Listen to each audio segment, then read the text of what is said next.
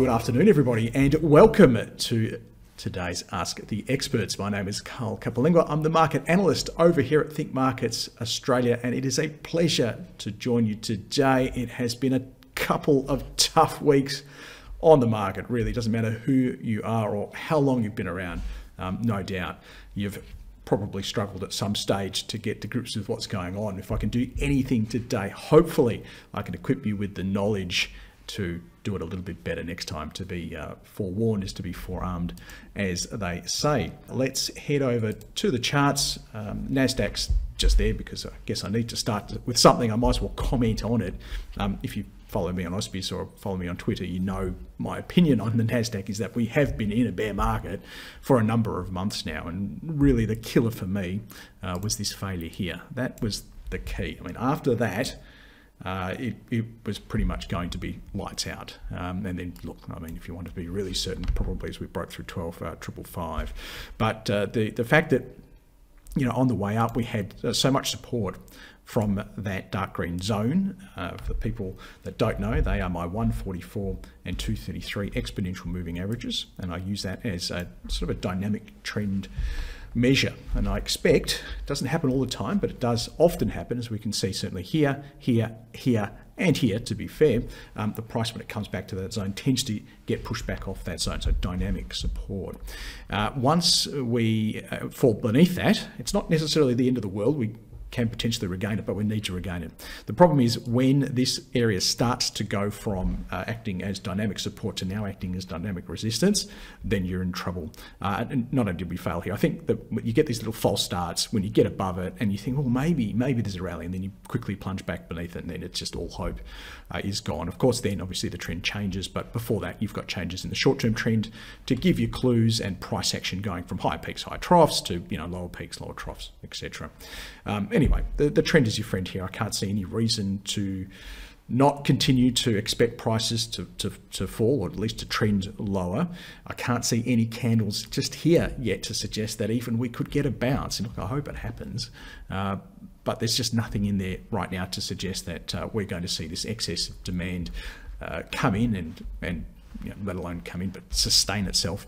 If we do, you know, tomorrow's, but tonight, I should say, is another candle. If we do, then we're going to have problems in this zone here. Okay, so I'm not saying we can't have a rally, but any rally is going to struggle. 11035 is a problem, but probably as these um, short-term trend, uh, the short-term trend ribbon, which is the uh, 21 to 34 EMAs, as they come down, we're going to see this sort of confluence here uh, of potential resistance.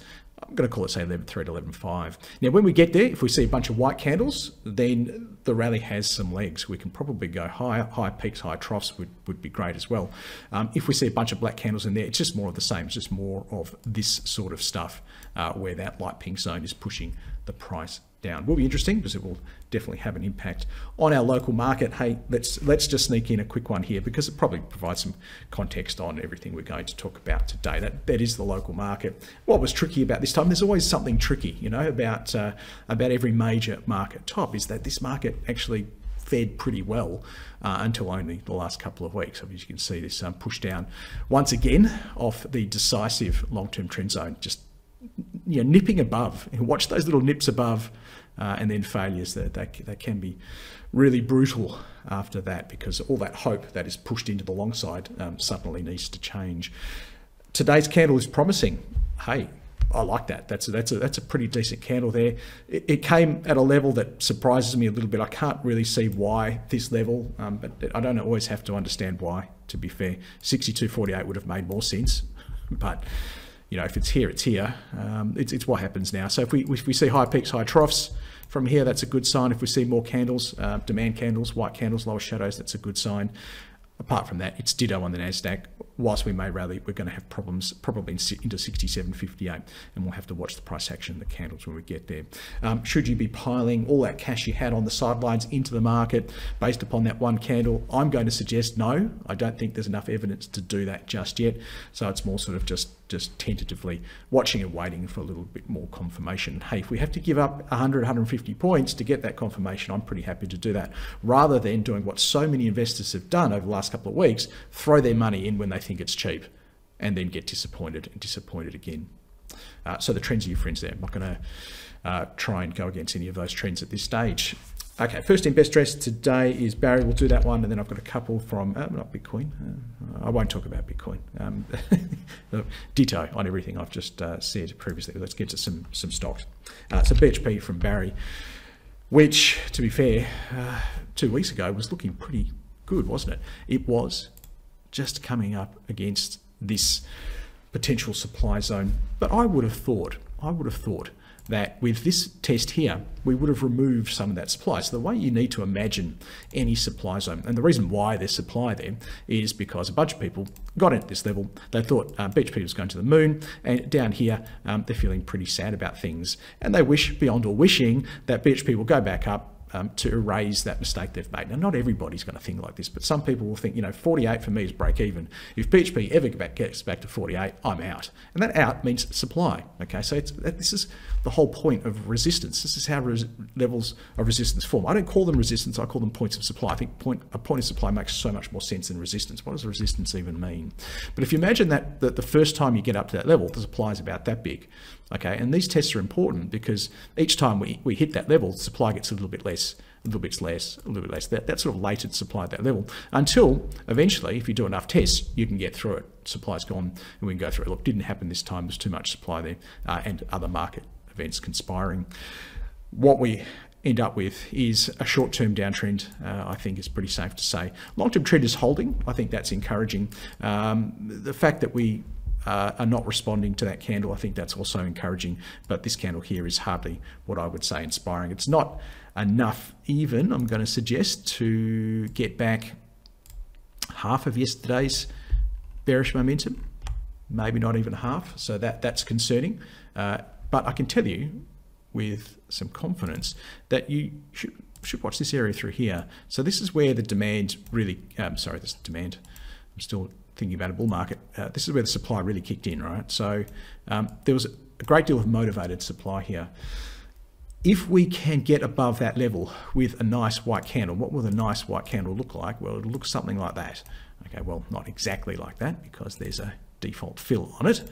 And if I turn it to that, that's exactly what it will look like. So if we see that closing above that high there, and I'll give you that high, it's 42.18. Uh, that does change things for BHP. So if we can do that, the supply that was there is gone. How do I know? Well, we've closed above it. The only, only way you can close above that is if you have met that supply. Okay, uh, and then we would start to think that maybe this uh, long-term uptrend uh, is holding and we could get a rally back up. So uh, I like to always finish each analysis with a buy, hold, sell, and I would say at this stage you could hold it but I would be really concerned about a, a close beneath that low. So 40, 16 or lower, and let's just call it, um, you know, 40 and a bit. So a 30, 80 or lower, and maybe even that. I, I think it's lights out for this one, uh, pro probably for a while. Uh, that low there, 39, 27. I don't know if you have to give it that much, but you kind of get my drift here. Um, beneath here, we're in, we're in real trouble. Beneath there, it's not great, but maybe you've got 40 just giving you 40 and that demand point, just giving you a little bit of maybe a bit more leeway to give it some more room. It's frustrating because you'd love to have just this this point. Okay, that's the point. But to be fair, you know, that's probably the point there, isn't it? Um, so that's the worst case scenario. Beneath that, oh, as much as I love BHP, I have to go to sell. Above that, I can stay with a hold. Can I call it a buy? No, I can't call it a buy until I see the stuff that I just talked to you about. Okay, so that's the technical picture. Uh, I don't think I could get any clearer than that if you were wondering. Let's head over to the, the fundamentals. And what we have here, I can't say with any certainty it's going to work for BHP because my spreadsheet, which I'll explain what it does in a second, does struggle with some of these resource companies because brokers tend to have estimates which, you know, look like that um, down the track, and we don't get uh, we don't get really nice numbers in here, unfortunately. But it's the data comes from Thomson Reuters Refinitiv Eikon product. Uh, what they do is they provide for me the historical data. These these are the cells I fill in, the things I'm interested in, uh, but also the forecast data from the various brokers. Now there are 18 brokers covering BHP, so that's a, a great critical mass of brokers. So I think we can actually look at this um, with a great deal of confidence, or at least these numbers. Uh, four strong buys, seven buys. So let's say it's pretty positive towards it. Nine holds, no sells, no strong sells. That's pretty encouraging. Their earnings per share estimates going forward, well, you know, when you get sort of 88, 35, and then minus 12, minus 27, minus 8, you can see there's a lot of volatility here in BHP's uh, historical and also expected earnings. We've got an average growth rate for the next sort of three uh, to four years of uh, negative 16%. Okay, so that's would be a little bit of a concern. Now, is there a high chance of hitting that, a moderate chance of hitting that, or a low chance of hitting that? Um, well, the bar is set so low, okay, I think, that we could probably leave that low. And then you go, well, it's commodity stock, so maybe you should probably go with a moderate one because anything can happen. But I think the brokers have factored that in. So I'm going to leave that with I'm going to leave that with low, but that is an educated guess. And let's face it, fundamental analysis is all about educated guesses. You think technical analysis is about educating guess, educated guesses? Fundamental analysis is educated guesses squared compared to technical analysis. Next thing I like to do is um, check out the right PE to hold this uh, to, or hold it to hold it to account.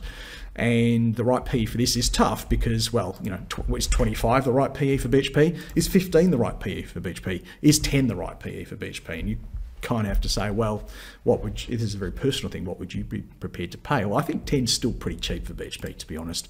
Um, this is saying that uh, looking at the forecast numbers, uh, so through here, I can't remember if I include that or not. I can't remember.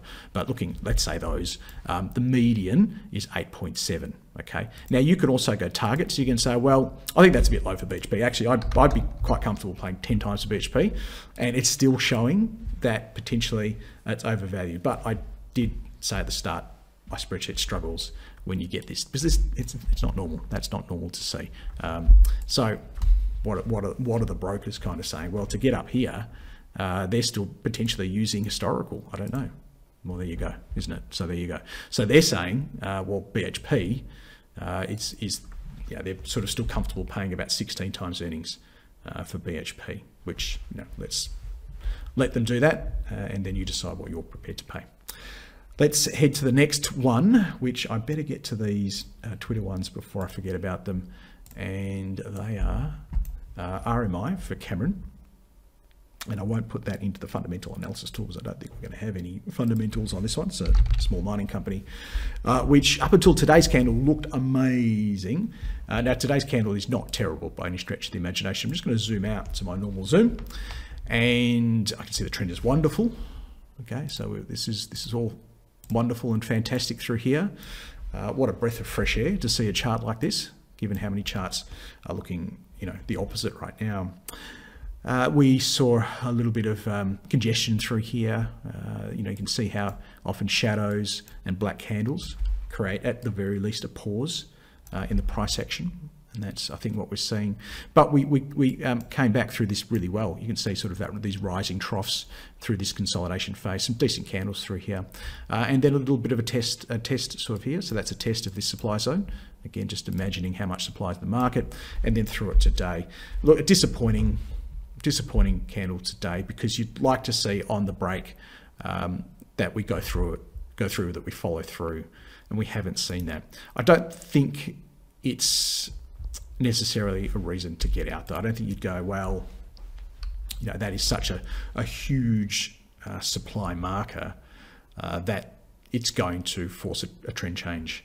Now, if we see more evidence of excess supply at this point, which really should have seen excess demand, I will grow increasingly concerned that it is a false breakout and therefore could precipitate a more severe decline.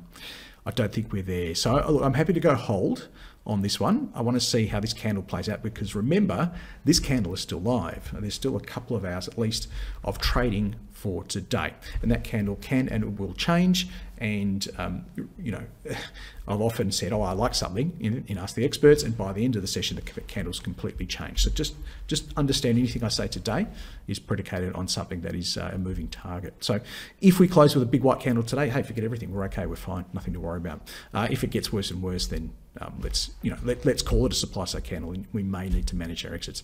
Until then, I'm happy to hold on the basis of the strong trends. Can I buy today? No, I can't because of all of those uncertainties that I discussed. But it's a strong hold. Um, not quite a sell just at this stage. That's Resource Mining Company. Um, honestly, it's a chart I've followed for a long, long time. If you follow me on Twitter, you know I've been tweeting about it, or I'm going to say maybe even probably around here, certainly around here, certainly around here. It's been one of my most tweeted about charts. Um, if you're on it from about five or six, you know you're doing really well, uh, and and hopefully you know that's you. Um, but I can tell you, I have no idea what it does, and it doesn't stop me from tweeting about it and you know encouraging people to look at these charts because I find that the least, the least, least, the less I know about what a company does, the better. You know, I want to be totally clueless about what's going on. I just want to read the charts. I just just give me my candles and I'm fine. I find that the more I know about the company, the more I tend to end up doubting the story or get out too early. I tell you, it's happened to me time and time again. The more I know about the company, the worse I trade it. Um, so if you if you're on this you don't know what it does, you don't need to. Let's get to the next one, which is uh, FEX Fenix from King, uh, which looks okay. Now, actually looks pretty good compared to the rest of the market. So, in, in, in relative strength terms, over the last three months, it is wildly outperforming the market. Um, I have an indicator just under the screen. You can't see it, but that confirms for me that's the case. Um, so on that basis, uh, it's impressive. But whether it's a buy or not, that's where I'm sort of struggling. And I can certainly see lots to like about it. Um, long-term uptrend is there, but it's it's very shallow, isn't it? It's a, it's a very shallow angle of attack. Short-term trend is okay. Um, let's call it neutral. Uh, this candle here is fantastic. I, I, love it. The fact that this trough is above this trough is great, but the fact that this peak is below this peak is not as great. We've got sort of this wedge pattern. We kind of see kind of need to see which way we break out of it. I would suggest, given that the trend is up, we tend to, and this is a probability thing, is you know 51.49, right? Uh, we tend to break uh, through the upside of that uh, pennant or flag or whatever you want to call it. So happy to go a hold on this one. It's not the most exciting chart out there for me, um, so I don't think I can get to a buy just yet. But uh, you know, it, it's certainly not a sell at this level. If you don't know what they do, they are an iron ore company um, from memory, and I did a bit of a deep dive on this probably about 12 months ago. Uh, when iron ore was all the rage. And from memory, they had a, really, um, you know, a really nice high grade shallow resource, of front end loader stuff. Just, you know, dig it out, pop it on a, on, a, on a truck, then on a train and send it to China sort of thing. But it was a finite resource. It was going to run out, you know, pretty short sort of mine life. So it was just what they could get for it in the short term, uh, return that capital, uh, you know, any, any profits to shareholders. And that, that, was, that was probably going to be it. And I think that's why you haven't seen this one do as well as maybe some of those iron ore companies with, you know, longer mine lives and exploration potential to, you know, further pad that out. Okay, Next one, um, back to my list of people that are here today, is GMA, which is Genworth Mortgage Insurance. Horror and so I just saw that in bit. Um, so we talked about you know supply events before and what they look like. That's not good. Obviously, short-term trend down, um, straight through the long-term trend zone. What do we do from here? If you're still on it, uh, commiserations, but that is good. So this is encouraging. It's happening at the right level, so $2, nice big round number, and also at an area where we've had sort of previous demand in the past. You know, this is a nice follow-up candle. Sorry, this is a nice follow-up candle, and this is actually not too bad today. Um, I'd like it to be better because, you know, the broader market's up. Uh, but I think, look, I think we can bounce. The problem I think coming uh, up for this one is the potential that, you know, this short-term this long-term demand zone, I should say, is going to act as a potential um, dynamic resistance area. And between 250 and 260, we might have some issues. But how will you know? Well, you know, if, you, if I'm not here on a Tuesday to help you out, how will you know? Well, if we see a bunch of black candles in and around this zone, and the candles we're talking about, these are the supply side candles. These are the ones that we don't want to see. They will be black, and they will be filled black, and they will either look like that or more than likely even something that looks like this. So we'll have a body and then we'll have a shadow uh, pointing up and it won't be, well, it might be that big. You never know. Uh, let's put that one there. and to save time, I won't uh, change it to a shorter one, but you get my drift where you could have a long upper shadow. Um, so either of this candle or this candle occurring in here, uh, I'd become very, very concerned and that would add to the supply event, which we saw here. So this is um, a big supply event. And when we see these supply events, I do counsel you in these sessions not to ignore them, uh, but to, to take some action and manage uh, your exit. Now, what you do is up to you. I can't force you. I'm not going to call you up and send you a or send you a text message and say, hey, look, don't forget there's a supply event. This is what you need to do. You know, you've got to take some responsibility for this. And I think we can see, as, as good as the trend was on the way up, we can see some signs here that uh, you know that candle's not great, but not necessarily reason to sell.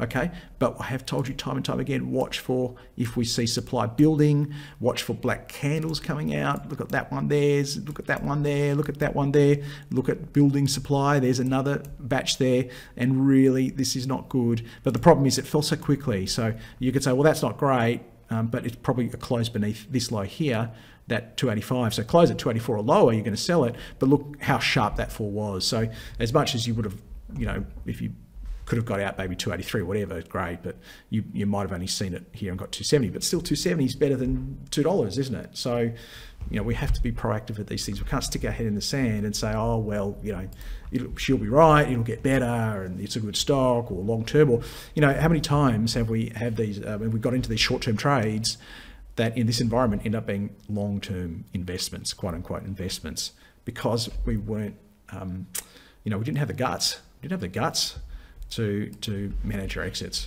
You know, when all the signs were there, the market is always talking to you, it's just chatting away to you. You just have to, you know, tune your in uh, and listen to it. But then listening is one thing, acting is the next thing, isn't it? Uh, now, let's go to Chris. Chris is asking about CBA.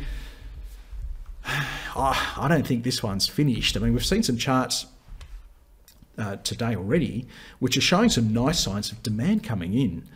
This is this is pretty pathetic. I mean, that that is terrible in terms of you know rampaging demand coming in to scoop up the bargain that potentially CBA, CBA is. I'm not seeing it. Uh, I'm seeing little demand, and if there is demand, there's some supply, some pesky supply around uh, to meet it. Now, the stock's fallen quite a bit, you know, 110, 108, down to 88, now 20%. Now, you would ordinarily think big blue chip stock like CBA, nice dividend yields, falls 20%, there'd be a bunch of people out there falling over themselves to buy it. Well, maybe that's the case. We can see there is a bit of um, volume in here. Remember, volume is buying and selling. So elevated volume means elevated uh, buying. But that buying is being met, isn't it? It's been more than met by the selling. Why do people not like this one so much? And when I say people, I don't mean people like you and I, because we don't matter in the markets. I'm talking about the big institutional investors. Why don't they like it so much? Uh, why are they so keen to get out? And then why are there so few other institutional investors uh, prepared to get back in. And I do like to, you know, uh, you know, monitor the media, and I do see talking heads get up and they talk about, you know, what their um, their, their clients are doing, and uh, you do hear from a lot of these discount brokers how oh, our clients are really loving things right now um, because you know our big banks they love to buy when they're down, etc., etc. And I think that's what you're seeing. I think that demand is coming in from you know, mum and dad investors, uh, and what you're seeing is um, the institutional side of things sit on this one. Uh, this is the key level here. If we can get back above that, you know, there's there's a chance for a rally.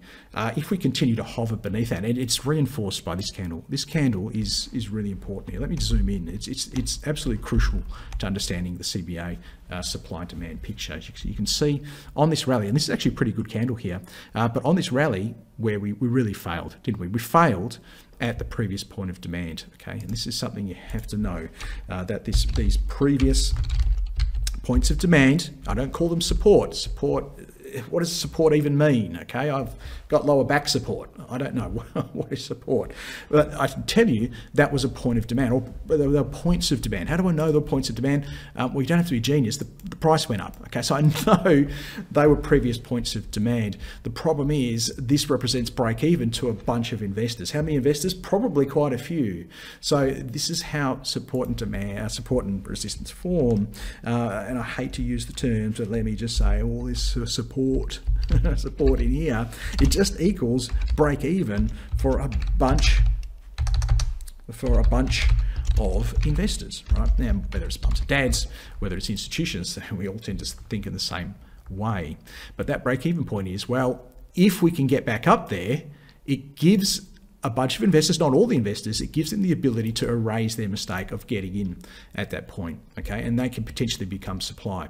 And it's just like we said before about supply levels up top, um, these levels will work exactly the same. There is an amount of supply there, however big that is. Now, it could be, it could be this big for all we know.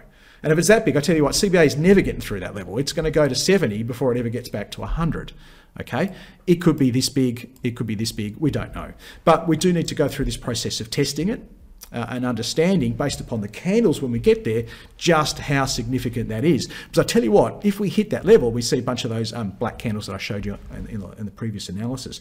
The, the big black candles are the ones with the upper shadows. I tell you, that supply is not that big. It's probably that big. Hey, if we get there and we hit it with a bunch of white candles, that the supply is less than that big even because it's not there. The, the, white candles will tell you, the closes at the high above that level will tell you that demand's got, uh, that supply's gone. Okay, so we are using uh, the tools I'm giving you to identify these key pressure points in the market, and then we're going to watch and wait to see what happens there to make our decisions. I tell you what, um, I can do CBA very easy in terms of buy, hold, sell. This is not a buy for me, as much as you know a lot of those talking heads might say, you know, our clients are loving things down here. This is not a buy for me because the institutions don't want to buy it. In fact, they're, they're still laden onto the sell side. Uh, is it a hold? I can't see any reason to hold it either, to be honest. Uh, why? Why would you hold it? Maybe you would hold it on the basis of just seeing how we go in here. Maybe that's it. Maybe that's your strategy. Go, well, look, um, I get what Carl's saying. It doesn't look great, but I'm going to hang on. I'm going to see how this plays out. If I see those black candles there, then I'm going to make my own decision, my own educated decision yeah, with the knowledge I've gained to, to make call on what to do. If I see white candles, then I'll continue to hold. Um, but if it breaks beneath here, then we could very, very easily go for another leg down. Uh, that low there, 86.98. Watch out for that level, um, especially if you, you know, close beneath it with a big black candle. Let's see if we can find some other levels where it could be going. If we break through there, probably down to here which is not that far away, is it? 80 uh, and maybe um, maybe 75 is the low of this next swing down, but who knows where it could end? You know, we don't know. This, this could be. We, we could have just started the next GFC. We could have just started the next GFC. And let me show you CBA at the end of the last GFC. Well, there you go. Look how, how actually didn't actually didn't do. Oh no, it did. I was going to say it didn't do that bad. It did, did do that bad. Look at this. It went from um, 60 or just above 60 uh, to below 25. So it halved in value. Uh, you know, more more than halved in value. So if, if CBA this time does the same thing, uh, you know, 110 could be 60 or could be 55. Okay, so don't be so arrogant to think that well CBA will never do that. It has done that. It's, it's done it times and times before. Okay, so anyway, you've got a roadmap on what to do there. Are we curious as to what CBA looks like in the fundamentals? I'm not that curious to be honest, but for completeness, let's do this. How are we going on time? About halfway through. Got to pick up the pace, says everybody, because they want their stocks analysed. Uh, CBA. Now we need to um, uh, reset some of these things here. Let's go back to Dynamic F. Uh, let's check the brokers. Uh, 15 brokers.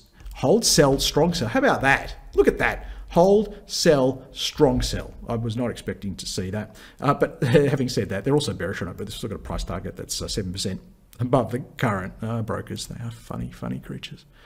Okay, EPS estimates, 3%. I, I, look, I, I think it can probably do 3%, can't it? I don't know. Maybe the economy is going to go over a cliff. Maybe 3% is not even possible. Don't know. Let you decide. Uh, PE for this one. Dynamic 15. Oh, 15 seems, it feels high for a, for a bank. It, it just, 15 for a bank seems high. It's the top limit of what I would pay, personally.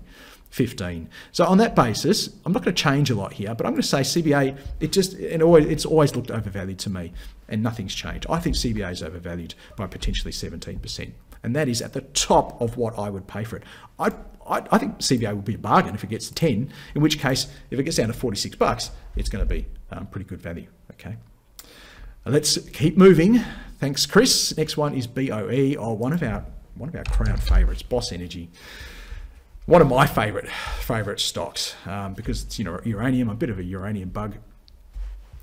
but I have said, uh, in terms of my musings on uranium, it, it could take a, it could take a while. It's not going to be a lithium style explosion. It's going to be a slow burn, no pun intended. Uh, and that the problem with that is people get excited, then they get disappointed. They get excited, they get disappointed, and you know when they get excited.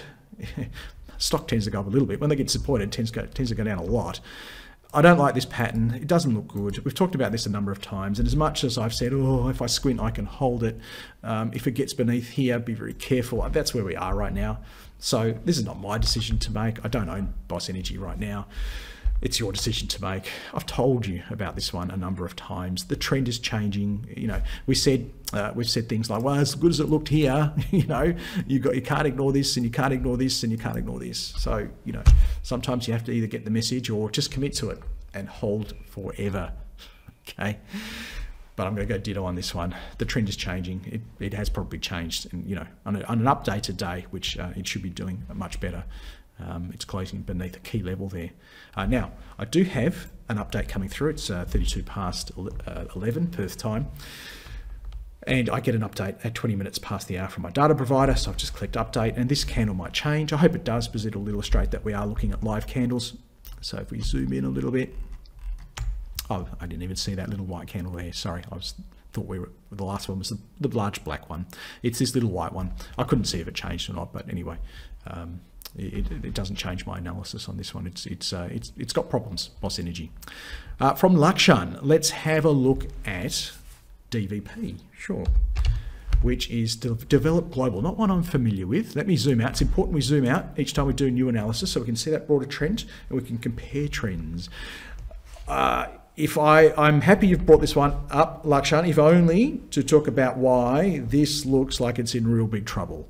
Uh, and it is the perfect example, the perfect case study for looking at how trends change. And they don't train, they don't, you know, everybody thinks, ah, oh, markets go up and then they crash. And on the way up, you need to be really careful because, you know, if it goes up, it might crash. You know what? Markets, markets pretty rarely go up then, then crash. I'll tell you what markets do more often than not. And the vast majority of times is markets do this sort of stuff. they do this, they do this, they do this, they do this, and then they do this. Can you see this pattern, this same pattern here on that last chart of DVP? We go from periods of excess demand. Okay, you call this a bull market. I call this a period of excess demand. Then we call, uh, then we go into a, a place of equilibrium okay, where demand and supply are equal. Now, what could cause that equilibrium? Well, we had excess demand. So a couple of things could happen. Demand can pull back. All right, demand pulls back and now is equals to supply. Right, supply never changed, just demand pull back. Why did demand pull back? I don't know. Maybe uh, Jerome Powell started saying some things the market didn't like. Okay, and supply never changed, or demand could stay exactly the same, but supply increased, and they're all going to, you know, there's different combinations of the two, but supply equals um, demand. And then we get to the point where, for whatever reason, either supply increases or demand decreases, or a combination of both, which is worse. And if you get the combination of both, you get a much steeper decline, don't you? Okay. Um, now, DVP. So markets, oh, there's, you know, six o'clock news, the market crashed. You know, X trillion wiped off. Yeah, okay, surprise, surprise. No, not a surprise. Uh, these things play out over months. Okay, that's the norm. Now, let's go back to DVP because ditto for this one. I don't have to spend long on this, but if you can now read the chart, we're in a bit of trouble here on DVP. Okay, that doesn't look great. Buy, hold, or sell. Let's eliminate buy. That is not going to happen from me. Now, hey, you might get a fundamental analyst come up there, another talking again, and say, develop global, it does this and this and this, and earnings are great, and the outlook's fantastic. Hooly dooly. Good for you, mate. That's fine. My system is one based upon trend following and one based upon understanding how demand and supply are interacting. Uh, this is not a buy for me. It's I, I, can't even go hold. I can't even. I'm not even going to say hold it until it closes beneath that. I think it looks that bad. 222. Maybe that's the only thing that's going to keep you in it. Uh, uh, we we just above it. Yeah. I don't know. Wait a second. What's going on here? That low there. It's not 222. I misread it. Uh, low is two dollars. There you go. Two dollars. That low there. 196. Oh, it has. Where did it close that day? Uh, closed 201, so just closed above. There you go, just closed above, and today's just hanging in there. Uh, let's go sell on this one. I'm not even going to punch it into the fundamental analysis tool. Sorry, Lakshan, I didn't mean to hurt your feelings if you love it. Oh, why do we love stocks? They don't love us back. They're not like our pets, you know, the only living creatures in the world that truly unconditionally love us. Why do we love stocks? We don't, you know, we don't come home and BHP comes running up to us, you know, happy to see us. It's never happened. So why do we love them? You know, they are just stocks for me are just like cattle. You've got to well, I'm not a farmer, but imagine you're a, you're a, you're a cattle farmer. You know, and that cattle farmer, you know, these cows are nice and fat. You fatten these, you hold them up while they're getting nice and fat. But once they're nice and fat, for whatever reason, it's time, to, time for them to go. You know where they're going, but you're not standing there at the gate as you pat them on the backside, getting them on the truck, going, oh, Betsy, oh, Daisy, oh, Lucinda, Oh, I'm going to miss you so much. Oh, no, no, look, Mr. Truck Driver, forget about it. I want to keep all my cattle. No, no, no. you're patting them on the backside, get them on the truck, and go get your money for them. You know, stocks are like cattle. Do not fall in love with them.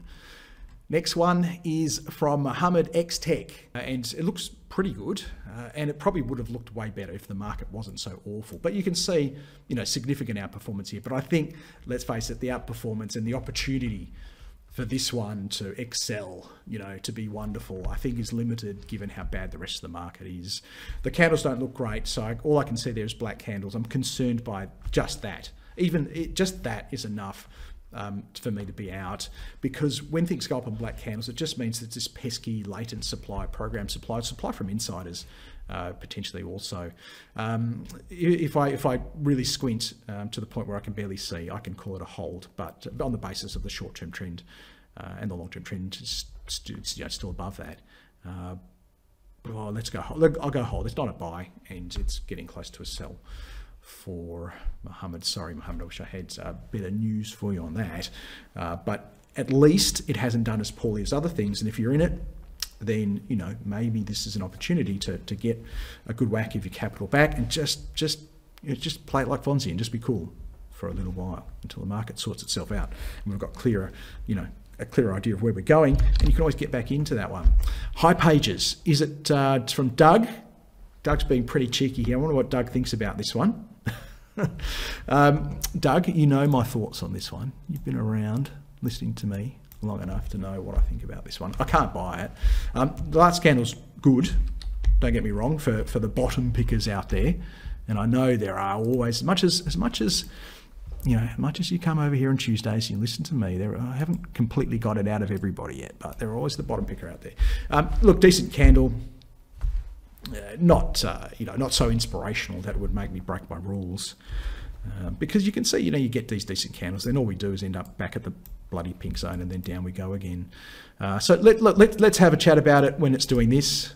Um, so we've got the good price action. If you're not sure what good price action is because you're listening to me for the first time, that's the good price action. Uh, what's even better price action? Well, that's when you have this sort of a thing going on.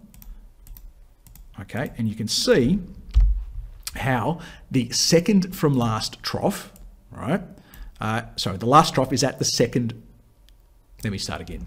You can see how the last trough is at or above the second from last peak. Okay, why why that? Um, so if we go, there's there's your T, um, there's your P naught, and that's your P1. Uh, so you can see how the last trough is at or above the second from last peak. And this is this is what I call great price action um, because you can have uh, up upwards price action, sure, you know, price action that's going up, but it could look like this, and that's not as good for us. Okay, it's not indicating that demand is as uh, confident on uh, through this buy the dip process. They're all buy the dip, um, but if we had to go, let's say we go A, you know, well, is that B? It's not really B, but C, you know, C is much better than A, for example. You know, they're all showing uh, an excess of demand. They're all showing buy the dip activity, but C is the one we want to go for. So let's uh, let's first see C down here with some nice candles, and then Doug, we'll have a chat about potentially picking the bottom on this. Maybe Doug's looking at it for a short, which is um, a different story altogether. Um, completely ruling out buy uh, if if you're holding it, I'd say, well, why? why? You haven't listened to a thing I've told you. Look at this. Look at this. Look at this. You haven't listened to a thing I've told you. And now, um, if you're holding it, yeah, okay, hang in there until it closes below uh, 88 because that's the next leg down. Okay, next one's for Eastern. Let's uh, let's go AGY. Argosy. Oh, so much promise. Uh, it's so frustrating uh, that you, hey, you don't you don't get to pick when the bear markets come, do you? And uh, I tell you what, if if it didn't happen, I reckon this would be seventy cents right now. But you know, this, try try telling that to the market gods and asking for your money back. It's just it's not going to happen. We've got problems here um, below thirty five. We've got problems because now you know we talked about good price action. Now we're in this this stuff here, uh, which is which is a problem in terms of, well, we're not buy the dip, we sell the rally, and uh, we're going to have further problems over here. Uh, so uh, for, for me, uh, um, I, you know, I like the Argosy story, uh, but the price action is saying this could take a while before the market gets the confidence uh, back to, to, to, push this one higher. and in fact, you know, sideways at best uh, might be the well sideways might be the best case scenario. I'm concerned about it. I think you can hear from the tone of my voice. I hate to just go and say, well, you know, it's a sell now, but it's I can't see why you would own it. it it's I can't go hold and I can't go buy. So process of elimination. Uh, maybe if I, if I really find trying to find uh, you know reasons to hold on to it, you've got that long-term trend zone. But uh, the problem is just how we behaved at it. We behaved very poorly at it. This candle here look I just didn't care. I mean, when, when you hit, that's good. So that's what I expect. Like when we get to these zones, I expect that. And you get a little bit of wobble, but we don't take out that low. Okay, so that, that's good. Then you get a little bit of wobble, but then we took out the low. That's bad. Um, yeah, let's hope. I don't like to use that word. That's a silly word. Let's, let's, let's never use that word in this session again. Um, why? Why are we hoping for stuff? Let's call a spade a spade. Let's say that things aren't looking good on Argosy anymore. Sorry, Eastern. I wish I had uh, better news on that one. Let's look at Lake, which the last time we looked at it was going gangbusters. For whatever reason, the market was absolutely getting belted, and it was here. It was on this day here. And I said, hey, it's probably the only thing I buy today. Uh, am I regretting that decision? I've regretted calling a few things a buy because as good as the charts have looked uh, like that last one, Eastern, the market's just made a mess of them. In a better environment, they would have done better, but that's not the environment. You, you know, sometimes you've got to stop banging your head against the brick wall and say, well, the reality is the reality and maybe buying stocks is not such a clever thing to do. Uh, as good as this is, that's not what I wanted to do. As good as this is, like, and this is good. Don't get me wrong. Like, this is amazing, and this is great. And the fact it's all happening here and above there and in here is tick, tick, tick, tick, tick. But if it's so tick, tick, tick, tick, tick, what's this all about? And why did it happen on such huge volume? So we've got all the, the people getting themselves set to the long side in here and then getting wiped out through here. Uh, and a lot of the buy the dippers, I think, probably getting hurt as well.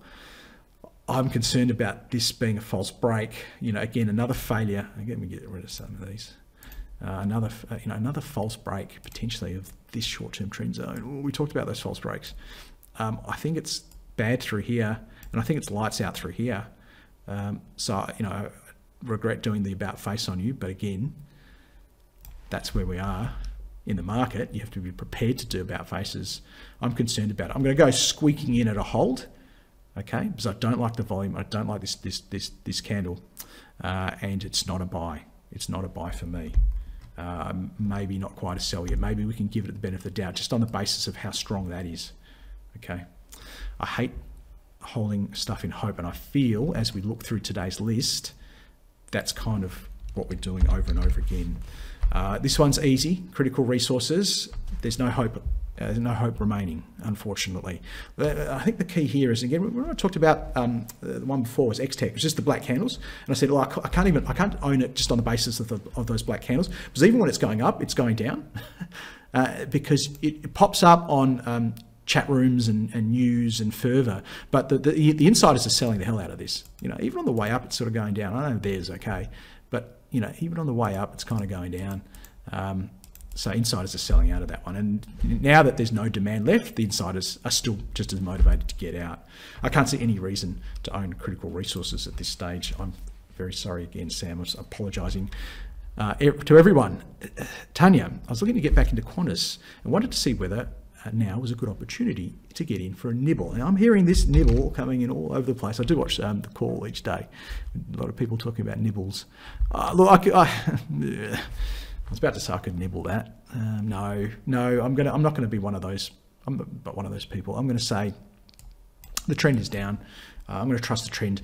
Where okay, so where could I take a nibble? So I'm not just going to take a nibble on the basis that you know this is a level. So I, saw that. Okay, that's a level. You know, a decent bounce.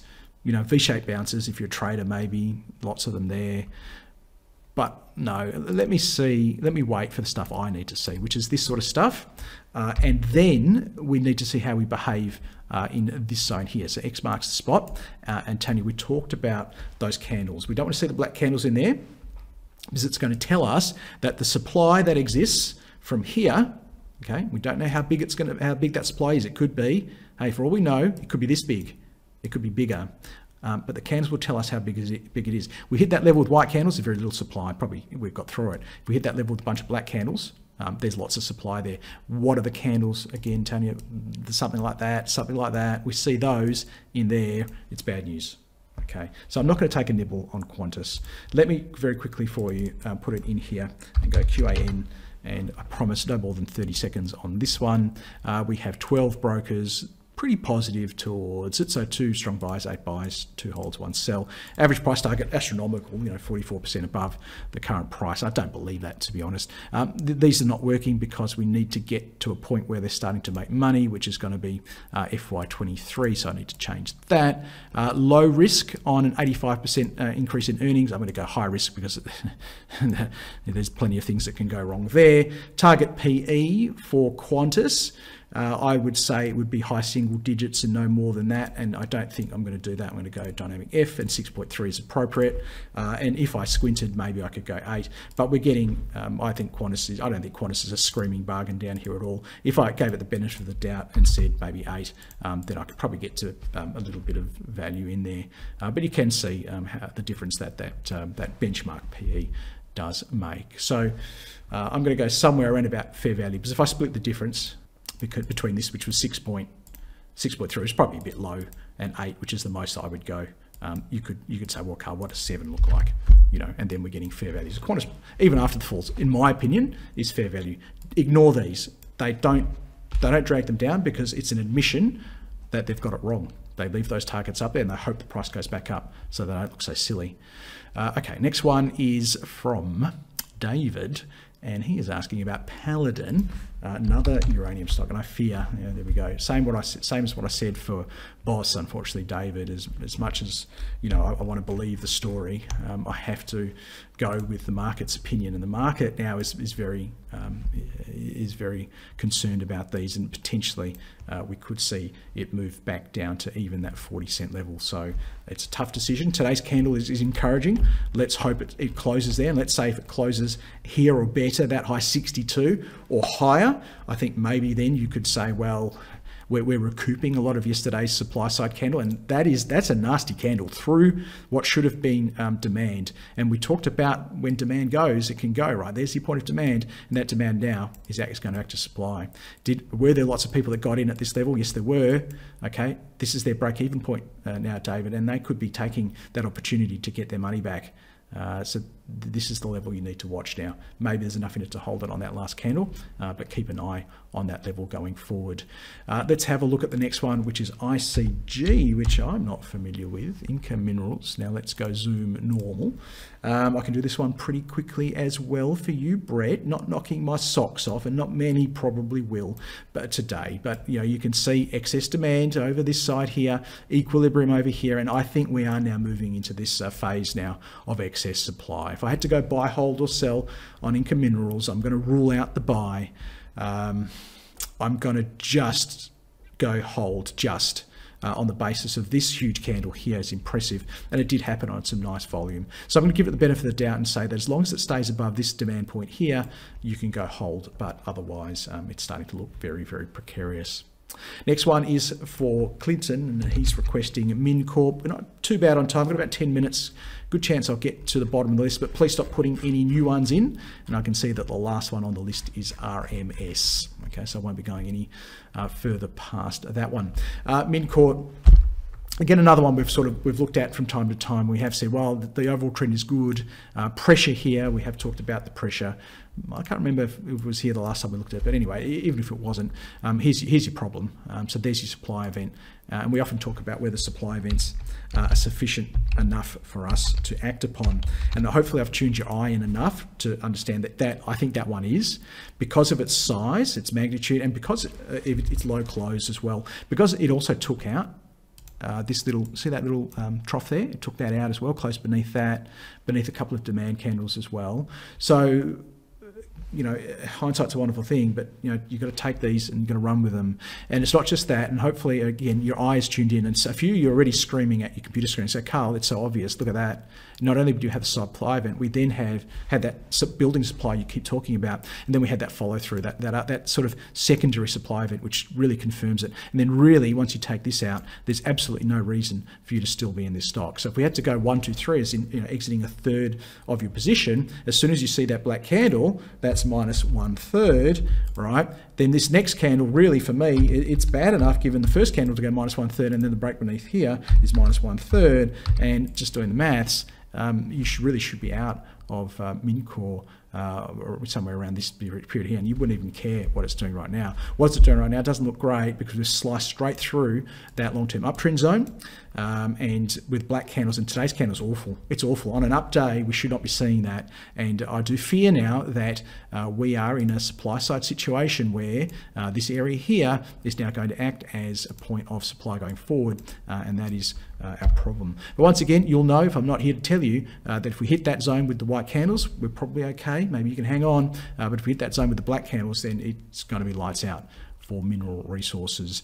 What I will uh, let's let's skip the fundamentals. I've, I have done mineral many times, Clinton. Um, maybe check some of the recordings there. Let's keep moving. Um, going to Shah, and Shah's asking for CSL, always a, a crowd favourite as well, um, and not looking great. Unfortunately, couldn't get through this zone here. This is encouraging, um, so I'm going to go hold just on the basis that that this is all very encouraging actually. Uh, but the problem now is this zone here. So Shah, we've talked many times about you know, waiting and watching for particular price action in particular zones. And this is your zone here on CSL. So around about that 265 to 270. The white candles in there will give you cause to continue to hang on. But the black candles in there, I think now CSL is, is in a lot of trouble because this is so well established.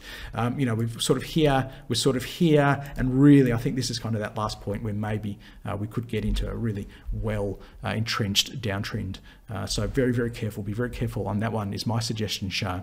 Now, next one is from Michael. Michael wants ALL, which we can see was a market darling. Boom, we can see how trends change. Michael is doing the, the, the head slapping on the forehead, going, yes, Carl, I probably should have spotted that. Um, but this is good. This is okay now, Michael. I mean, look, that's good. That's good. It's happening yeah, at a higher level Okay, um, these are all good. I like these. You know, the, the, demand's in there. There's some pesky supply, but the market's absolutely tanked. Um, okay, let me show you this. Okay, uh, so you're going to see it move. So this is an indicator which you can't see, not because um, it's not important, it's just we've never talked about it. But this is my relative strength comparative over the last 63 periods. 63 periods in trading days is three months. What it's telling me is when the stock in question is outperforming or underperforming the ASX 300, the broader, you know, uh, blue chip universe. And we can see, um, so green is good and red is bad. Uh, and as an indicator just in itself, you could just trade this, couldn't you? Like how awesome is that. This is a proprietary indicator, it doesn't exist anywhere in the world, it's my intellectual property. Um, but you can see, and this is what I like, is that we are beating the market over the last um, you know, few weeks there, so that's really impressive. Uh, I, I can definitely get to a hold here, but here's the but, as usual, the pressure points where are the pressure points? And Michael, no doubt, you're all over this. Uh, Michael's going, well, it's here, Carl, you know, around there. And, and Michael's saying, well, Carl, what we're going to do, we're going to play it like Fonzie. You're going to be pretty, pretty cool and calm on this. We're not going to get too excited until we see the right price section and the right candles in that zone. Uh, and then I might even add some more to my long-term superannuation portfolio if that occurs. Until then, I'm going to hold on, you know, play it cool, um, but be attentive for signs that supply is building. And certainly if it gets beneath there, then I'm going to really rethink my strategy on this one. Uh, let's keep moving. We Won't do the fundamentals. Try and get through the rest of these in charts. This is why this one is from uh, Tanya. I think I've done one for you, Tanya, but the elders do it very quickly. Uh, you know, ditto on aristocrat, isn't it? I mean, there's some good signs there, but we are under significant pressure here in this long-term trend. That short-term trend is well established. If we go back and look at the supply events, that oops.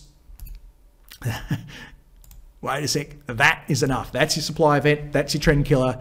Uh, hard to hard to stay there after that, especially when you get that, especially when you get that, especially when you get that. Today's candle is good. I'm going to say your last bastion yeah, of support there is that low, close below 1232.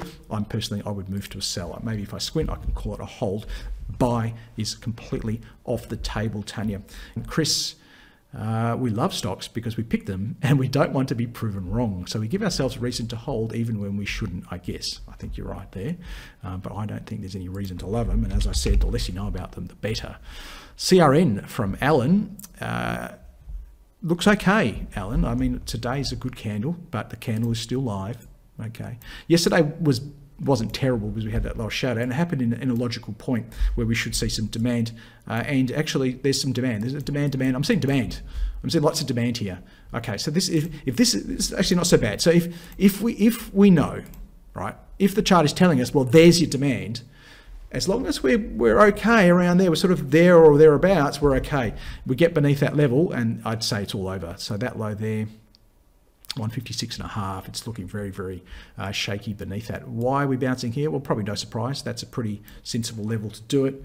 I can go hold on this. Look, doesn't look great because of the rest of the stuff. You know, uh, the supply event. Was that enough? Was that enough of a supply event? It wasn't great. Certainly when you when you um, combine that event, and if that wasn't enough for you, okay, I get it. When you combine that event with the building supply, then we're starting to get concerned, and then this is this is the problem. There's, there's your problem right there. So you, this is manage your exit sort of pattern. Um, but if you haven't done that, then I can go hold. It's not a buy not a buy for obvious reasons. Uh, to, to, upgrade it to buy, you need I need to do all the other stuff. You know what I talked about, the candles and the price action, and um, coming into this zone here uh, with some real uh, impetus and some gusto, hitting that zone with some white candles, uh, which we have seen, and not black candles. Okay, let's go S32. Uh, I'm concerned about this one. Looks like uh, mineral resources. We are through here now, uh, and the, the possibility is that we, we do this. Uh, so you know what to look for. I don't have to tell you again, but this is the level now. So 420, 430, uh, if we get back there, that's the level. We could be at the start, everyone, and this is going to frighten the pants off so many people here and the thousand of people that watch this in the recording, but uh, that's where I'm supposed to be next. But think about what happens next. How many times have you seen this and then what happens next? Okay, so you, you do the you do the maths on this one, you know, why, why should South 32 be any different? Uh, why? Because it has a great portfolio of uh, mineral resources that the world needs. That's yesterday's news. Uh, has for Alan, that's your third one, Alan. Very, very naughty. Um, I don't like it. It looks terrible. But I don't need to say any more than that. It's not doing any of the stuff I like to see. Uh, now, these are the from Anonymous, SNAS. Uh, the short the short ones, I think anonymous. Go back to what I said about the indexes. I think the the, the trends are still down. So in the, in that case, these are okay. Um, I don't like um, shorting uh, indexes though because I just think it's too hard. There's always something bloody going up. So I tend to tend to focus more on short shorting stocks, and we've seen a bunch of stocks that look terrible today. Uh, from Sam, uh, Credit Clear, CRR, uh, Credit Clear. Uh, CCR. Well, hey, we did critical resources anyway. That looked terrible. Uh, let's do your one here, Sam, uh, which looks just as bad, Sam. So copy and paste everything I said for um, critical resources to now what I'm about to say on Credit Clear. Uh, in fact, this one might even look a bit worse. So, is there, you know, is there any hope? Oh, well, okay, there's a little bit of a bounce here, but the, the, risk is the risk is this, isn't it? We hit here and then we go there and then we continue this. Um, so I'm not a buyer of that one. I don't know anything about it though, uh, Sam, and I'm sure it has some wonderful fundamentals that if I gave you the chance, you'd tell me all about it, and I, my eyes would glaze over, and I'd probably not listen to you anyway. Uh, now, F uh, fuel is the next one. Uh, we have got some problems here. Uh, generally, when we see this sort of vertical uh, supply event, it's not great. Um, we then will look to these areas here and see how we respond. Uh, this is that we really, um, it's probably no, no, point doing any analysis on this thing. We need to analyse the chart of um, West Texas uh, crude oil. I don't have one uh, up to date at this point in time, uh, but you know, whatever that's going to correspond to around here might be about 115 off the top of my head. Okay, but the, the trend, a lot of damage, a great deal of damage has been done to that trend. And I think we need to really uh, think, rethink our strategy on that. The problem with oil is that it's bullish, it's bullish, it's bullish until it goes up so much that it breaks the economy and then it becomes bearish uh, by its own right. And uh, and that maybe that's oh, WDS. Where's WDS? It's not in that list because we got the new code. Um, this one looks okay though. I think you know, today's candle is very impressive. Uh, maybe I'm, maybe we will get a bounce on oil. I was about to say maybe I'm wrong on oil. I hope I'm wrong on oil because I, do, I really do want these energy stocks to succeed. I'm happy to go hold on this one. I think we're okay there, um, but it's on notice. It's on notice. I don't think these candles were all that terrible, to be honest. In a terrible market, uh, commendable fighting retreat. And today's candle is impressive. Needs to stay like that though, because it's a live candle. So I'm happy with Woodside uh, anonymous. I'd be happy to hold that. But you know, thanks for you know bringing that whole energy thing to our attention. It's worth definitely worth talking about. PointsBet um, is this the beginning of the next bull market in PointsBet? Maybe, uh, maybe because These are three pretty decent candles right here. One, two, three. No complaints about those in a pretty terrible market. Got ourselves back above this short-term downtrend zone. This uh, clearly, obviously, you don't have to be a genius to work out that that's a major problem. Now, what would we need to do? We, we look. We need to get above this. That'd be nice, above three dollars. We need to do some of this action, sort of this this sort of stuff going on here, preferably with last troughs at or above second from last peaks, because we haven't done that for such a very long time white candles, you know, the right demand candles coming at those points, you know, continuing push in supply to remove the, um, uh, in volume to remove the supply that's in the system. So as bad as all of that looks, you know, I'm not the broken record, you know, we, we, we're looking, uh, looking at demand and supply and how it's changing. And there does appear to be um, the start of a, a, change in the demand supply dynamics here. But for me, it's too early. Okay, so I'm happy to give this a dollar fifty even before I jump in because if I get it right and it only does it only gets back to half of where it was, who cares? All right. But if I get it wrong, well, you know the drill on this one. Maybe it's going to twenty cents. Okay, but uh, there is enough in there for me to call it a hold. Okay, so I'm not uh, as much of a stick in, in the mud to go, oh, downtrend, downtrend, uh, you know, sell. No, no. Let's let's listen to the market. The market is saying that there, there, are, there is excess demand in the system. Maybe it's short covering. I don't know. But it's one of the most shorted stocks out there. Uh, so it looks very interesting, David. Thanks for bringing that to my attention. Not a buy yet, but I can definitely go hold. Uh, now, this was the last one we're going to do today, which is Ramelius, and looking at maybe at this as a proxy for the gold stocks. The best gold stock I thought was um, Capricorn. Um, you know, that beautiful candle there on Fridays been beaten back a bit. But that's probably one the, the one that comes to mind as the best. Uh, RMS, it doesn't look good. I, I, think this one's in real trouble. And you can see short-term trends, long-term trends, black candles, even today, you know, when, when the market's up. Uh, and this one looks like, unfortunately, yeah, there's probably more in it. It's, it's just maybe even just getting started uh, in that downtrend because we had the opportunity to do something good, but we, we really failed, didn't we? Uh, and you, you can see these patterns. See these patterns? They just keep happening. They've been happening since Adam was a boy, way before you and I ever started looking at the markets, and they will continue to happen way after we stop. On that cheery, cheery note, everybody, uh, actually, Galileo.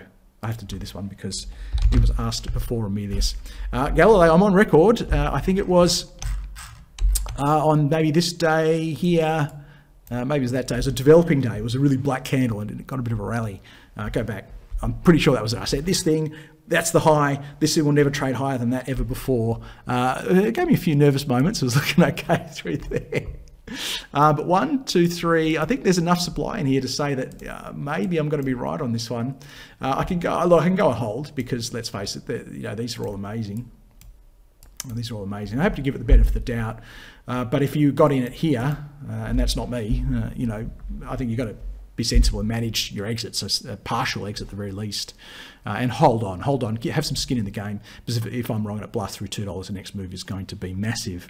Um, but until then, let's say that uh, the supply is creeping in and maybe is doing enough damage to confidence in it. What is, let's face it, a pretty terrible market to um, to sap this one and maybe take it back down again. But some skin in the game is the way I would tackle it. Let us close out today's session. Don't worry, I'll be back next Tuesday to answer your questions on the stocks in your portfolio and more. That's the registration link. If you're watching me in the recording on YouTube, come and join me live and get your questions answered.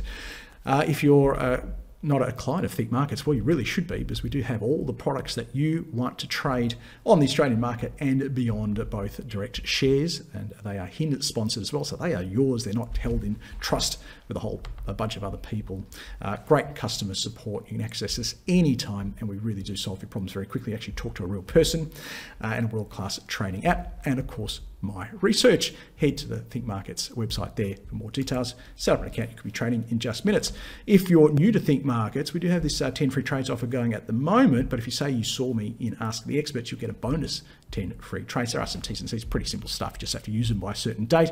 Um, head to the website for details or contact your customer service representative. If you're already a client of ours, we do have this great uh, refer a friend offer going where if you do refer four friends, and I'm sure you have four friends trading with their banks still paying exorbitant rates, come to us. They'll benefit and you'll benefit as well with 12 months of free trading, about 200 trades. Pretty neat as well. Um, apart from that, if you're watching me on YouTube or any of the other socials, make sure you hit that subscribe button to remain notified of any future videos. And of course, smash the like button to let us know you love what we're doing, so we'll keep doing it. Apart from that, it has been a pleasure chatting with you today. All the best for your trading and investing until we catch up again. Bye bye for now.